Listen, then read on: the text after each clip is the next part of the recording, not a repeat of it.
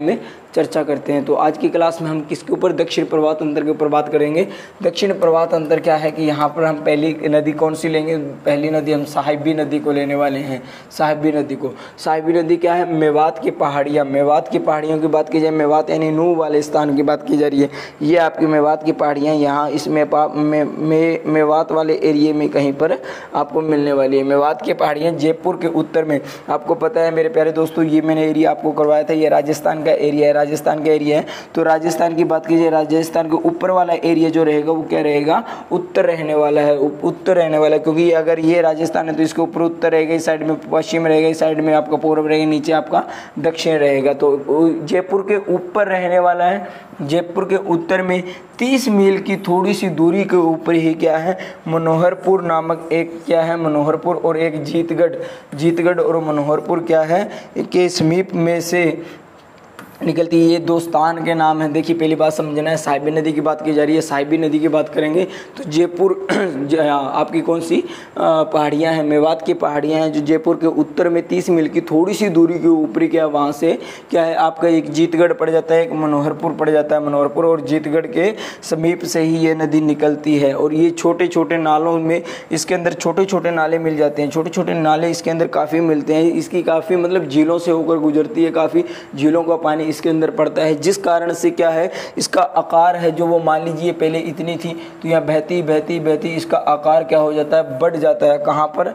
इसका आकार क्या है? पाटन में ये क्या कर देती है और बढ़ जाता है। और ये पाटन में आकर बहुत ज़्यादा बड़ी हो जाती है। और आखिर में ये क्या है?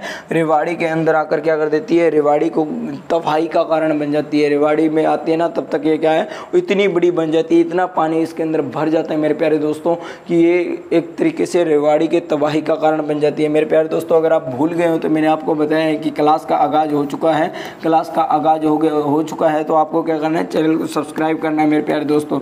चैनल को सब्सक्राइब करना है। वीडियो को लाइक नहीं किया तो वीडियो को लाइक करना है, क्योंकि अगर आप सपोर्ट करोगे, तभी तो हम आगे की क्लास लेके आ पाएँगे। चलिए, नेक्स्ट बात करते हैं। नेक्स्ट में अगर हम बात करें तो कोट कासिम की। अब हम हम उसी नदी के बारे में बात कर रहे हैं। साहबी नदी की बात ही चल रही है। यहाँ पर साहबी नदी की बात ही चल रही है कि वह कहाँ से साहिबी नदी कहाँ से निकली थी? आपकी मेवात की पहाड़ियों के मेवात की पहाड़ियों के ऊपर बात कीजिए, जयपुर के उत्तर से तीस मील की दूरी से जीतगढ़ और आपका मनोहरपुर है, जहाँ से वहाँ से थोड़ी सी दूर, उसी के समीप से वहाँ से निकली थी। अब बात करते हैं कोट कासिम नामक एक स्थान है, जहाँ से क्या है, रेवाड़ी में यह प्रवेश करती है। ये कहाँ? कोट कासिम से कहाँ रेवाड़ी के अंदर प्रवेश करती है। कोट कासिम आपका जो है वो रेवाड़ी में रह जाता है और रेवाड़ी में उसी के अंदर से ये क्या है, हरियाणा में प्रवेश कर जाती है, रेवाड़ी में प्रवेश कर जाती है। काफ़ी ज़्यादा ये क्या है, चौड़ी होती है और यहाँ पर क्या हो जाती है? काफ़ी ज़्यादा चौड़ी होती है और वर्षा अधिक होने के कारण ये क्या करती है? रेवाड़ी का तबाही का कारण बनती है। एक तरीके से अगर क्वेश्चन क्वेश्चन बन जाता है ना कि रेवाड़ी का शोक किस नदी को बोला जाता है? रेवाड़ी का शोक या रेवाड़ी को तबाही वाली कौन सी नदी है? तो कौन सी रहेगी आपकी साहिबी नदी रहने वाली? तो मेरे प्यारे दोस्तों, कौन सी रहेगी आपकी साहिबी नदी रहने वाली है? तो चलिए इसके आगे हम बात करते हैं कि खलीलपुर नामक स्थान और पटौदी नामक स्थान, यानी ये गुरुग्राम में रहने वाले हैं, इनके बीच से होती हुई ये नदी, इनके बीच से होती हुई ये नदी लाहौरी गाँव में जाकर झज्जर में प्रवेश कर जाती है। कहाँ? झज्जर में प्रवेश करती है। झज्जर में रोहतक से सीधा रेवाड़ी, सॉरी, रेवाड़ी रेवाड़ी से सीधा कहाँ चली जाती है ये? झज्जर में चली जाती है। पहले कहाँ मेवात से चली, कहाँ रेवाड़ी रेवाड़ी से सीधी कहाँ चल पड़ी? झज्जर के अंदर चले पड़ी। झज्जर में किस तरीके से लाहौरी नामक स्थान से प्रवेश करती है, कहाँ से? लाहौरी और किन के बीच से चलती है? पटौदी और खलीलपुर नामक स्थान। इन दोनों के बीच से बहती हुई जाकर लाहौरी नामक गाँव में जाकर सीधी किसके अंदर मिल जाती है? आपकी झज्जर के अंदर, झज्जर ज़िले के अंदर चली जाती है। और इससे आगे की अगर बात करें ना मेरे प्यारे दोस्तों, आगे क्या होता है? तो आगे ये क्या है? खेड़ी सुल्तान के पास से यह गुरुग्राम में पुनः प्रवेश कर जाती है। अब चलिए देखिए, पहली बात तो पहली बार ये गुड़गांव में कब गई थी? गुड़गांव में ये पहली बार कब कब गई? गुड़, गुड़गांव या गुरुग्राम कर लेना, गुड़गांव या गुरुग्राम की बात चल रही है। तो पहली बात मेरे आपको बताया कि खलीलपुर और पटौदी जो है वो गुरुग्राम के अंदर ही आपके हैं। तो वहाँ अगर उसके बीच में से निकल कर गई है तो मतलब वो पहले कहाँ थी?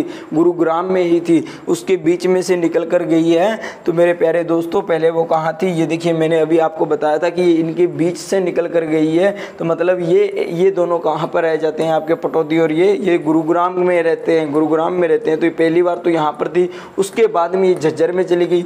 झज्जर के बाद में पुनः ये कहाँ पर आ जाती है, कहाँ आ जाती है? सुल्तान के पास से, सुल्तान से याद है, सुल्तानपुर राष्ट्रीय उद्यान, सुल्तानपुर राष्ट्रीय उद्यान, सुल्तानपुर राष्ट्रीय उद्यान राष्ट्रीय उद्यान।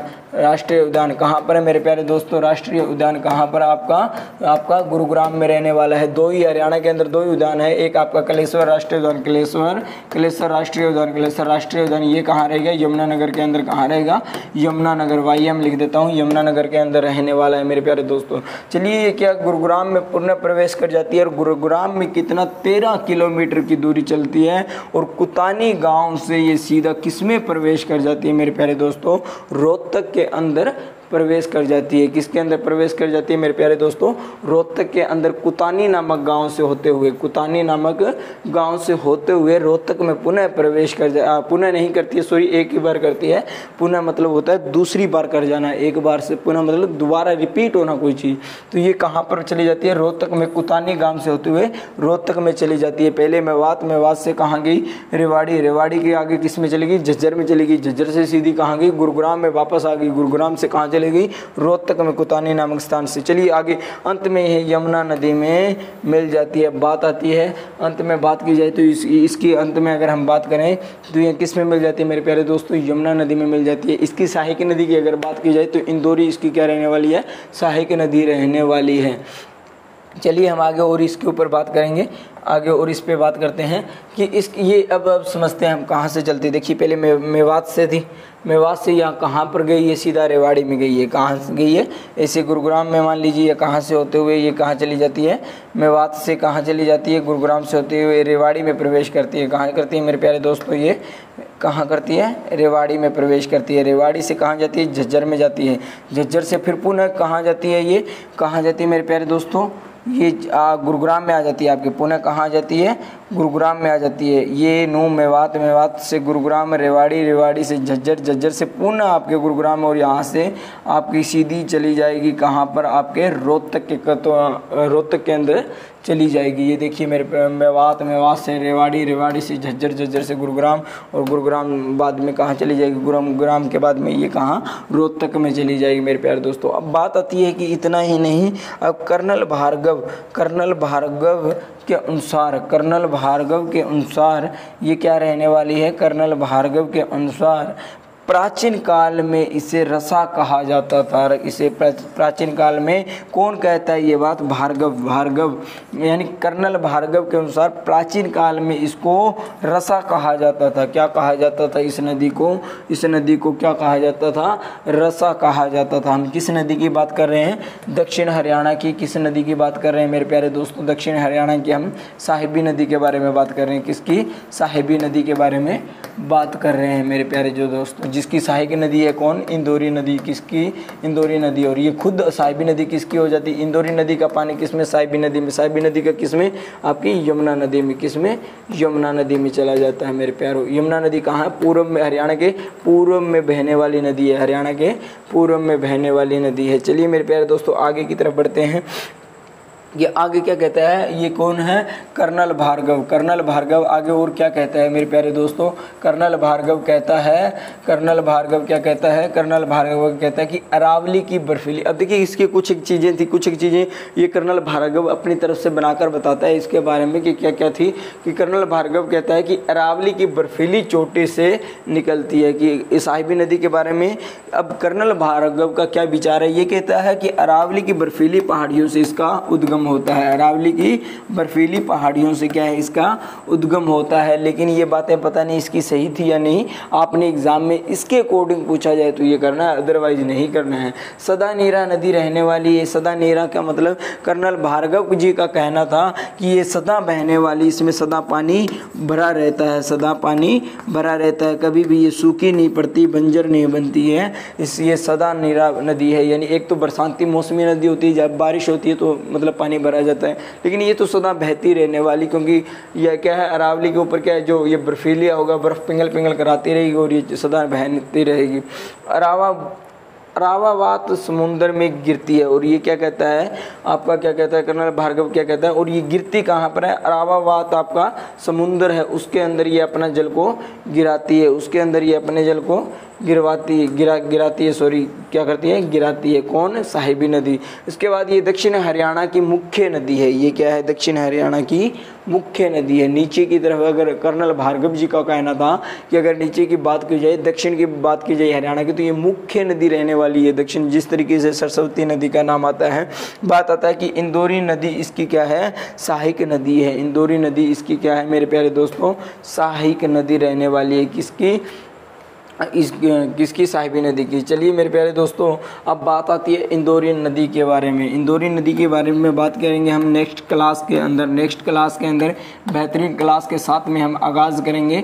आगाज़ करेंगे तब तक मेरे प्यारे दोस्तों, आपने क्या करना है? इस वीडियो को क्या करना है? ज़्यादा से ज़्यादा आपने शेयर करना है। ज़्यादा से ज़्यादा इस वीडियो को शेयर करना है। और लाइक नहीं किया है तो खुद ने आपने क्या करना है? लाइक करना है। एंड सब्सक्राइब करना है। और इसके अलावा भी आपका एक काम रहता है, जो वो महत्वपूर्ण काम आपका क्या रहेगा, कि आपने कमेंट ज़रूर करना है मेरे भाई। कमेंट ज़रूर करना है, ज़रूर ज़रूर करना है। जो आपके दिल में आए कि, सर क्लास कैसी चल रही है? क्या आपको लगता है कि यहाँ से एग्ज़ाम में आने के चांसेस बन सकते हैं? क्योंकि जहाँ तक मेरा विचार है, मैं कुछ आपका छुड़वाने वाला नहीं हूँ। मेरी कोशिश ये रहेगी कि जितना ज़्यादा मैं हरियाणा जीके को, आपका हरियाणा जीके को कवर कर सकता हूँ, हरियाणा हरियाणा जीके को जितना ज़्यादा मैं कवर कर सकता हूँ, उतना ज़्यादा आपका कवर करने की कोशिश करूँगा, ताकि आपके जो नवंबर और दिसंबर में सॉरी सितंबर और अक्टूबर में नौवें और दसवें महीने में एग्ज़ाम होने के चांसेस है हरियाणा डी ग्रुप के, हरियाणा डी ग्रुप के, हरियाणा डी ग्रुप के, उसके अंदर हमारा 25 नंबर की ये रहने वाली है मेरे प्यारे दोस्तों तो उन 25 में से हम जा, बीस प्लस तो ज़रूर ले पाएँ, इसके लिए हम ये मेहनत कर रहे हैं। और 20 प्लस इसके अंदर लेने का मतलब है कि हम सिलेक्शन के बहुत करीब, यानी अपने मंजिल के मंजिल के बहुत ज़्यादा करीब पहुँच जाएँगे। मैं ये तो नहीं कहूँगा कि मंजिल को ही पालोगे, पर बहुत ज़्यादा करीब पहुँच जाओ। गरीब लिख दिया मैंने, करीब लिखना था, करीब पहुँच जाओगे मेरे प्यारे दोस्तों। गरीब तो फिर यार हालात देख के गरीब नाम आ ही जाता है। तो चलिए मेरे प्यारे दोस्तों, क्लास कैसी लगी है कॉमेंट ज़रूर बता के जाना। मिलते हैं नेक्स्ट क्लास में इंदौरी नदी के साथ में। तब तक हँसते रहिए, मुस्कुराते रहिए। जय हिंद।